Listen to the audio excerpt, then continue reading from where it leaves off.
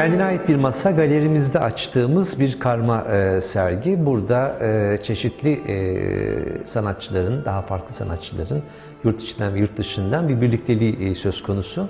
E, özellikle bütün e, yapıtları bir masa üzerinden e, sergilemeye e, ve yerleştirmeye e, karar verdik. E, sergi metnimizi e, oluşturan e, Ayşegül Gülşen'in de belirttiği gibi e, Vir- Virginia Woolf'un bir e, yapıtından alınmadır ismimiz. Kendine ait bir e, masa. E, biz de kendine ait bir masa yaratmaya e, gayret ettik. E, bu masa e, bizim bütün bilgi dağarcığımızı e, ve bugüne kadar üretmiş olduğumuz işlerimizden seçtiğimiz e, bazı şeyleri birlikte gösterebileceğimiz bir masa. O nedenle kendine ait bir e, masa.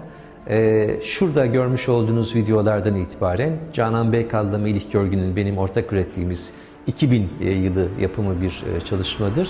Geriye doğru gittiğimizde Nazım İren, Nezaket Ekici, e, Emre Zeytinoğlu, Hülya Küpçüoğlu, e, Fatoş Beykal e, ve e, ekran büyük ekranda görebileceğiniz e, gibi Nezaket Ekici, Sabrina Osborne, Frosa e, Papadimitriou, Mürteza Fidan ve Jonathan e, çalışmalarından oluşan bir video seçkisi bütün bu serginin içerisinde yer alıyor. Galeriye girdiğinizde e, karşılaştığınız bu 7 metrelik masanın e, içinde e, masa sanatçıların e, kendi bilgisini e, topluyor ve gösteriyor. Bütün her şey bu masanın etrafında e, oluşuyor. Tıpkı benim şu anda oturup sizinle sohbet etmem e, gibi. Yani kısacası bir e, masayla bizim burada vermeye çalıştığımız şey bir bellek, bir tanım ve bir günlük üzerinden bir bilgiyi vermeye çalışıyoruz. Genellikle çalışmalara baktığınızda farklı dönemlerde kendi sanatçılıklarını gerçekleştirmiş olan kişileri görüyorsunuz ve onların da farklı dönemlerde yapmış olduğu işlerini görüyorsunuz. Yani bu işlerin hiçbirisi son dönem işi e, değil. E, çok eski işler var aralarında, çok yeni olanlar da var.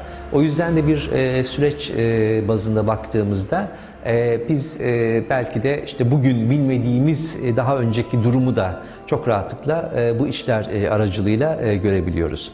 Burada bizim Canan Beykal'la birlikte oluşturduğumuz Bellek adlı bir iş yer alıyor. Çocuklar üzerinden ki devamlı şekilde e, kendisine e, tanımlanan e, kimlikler üzerinden kendini yeniden tanımlayan çocuklar üzerinden bir çalışma gerçekleştirmiş idik.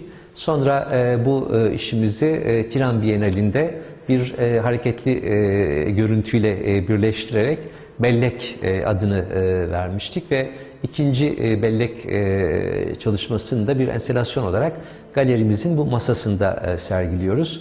E, ve burada yine e, ekranlarda görebileceğiniz gibi, takip edebileceğiniz e, gibi e, o belleğin içerisinde yani o zaman ve o anı tanımlayan e, tarih e, işaretleriyle e, birlikte e, sunuyoruz.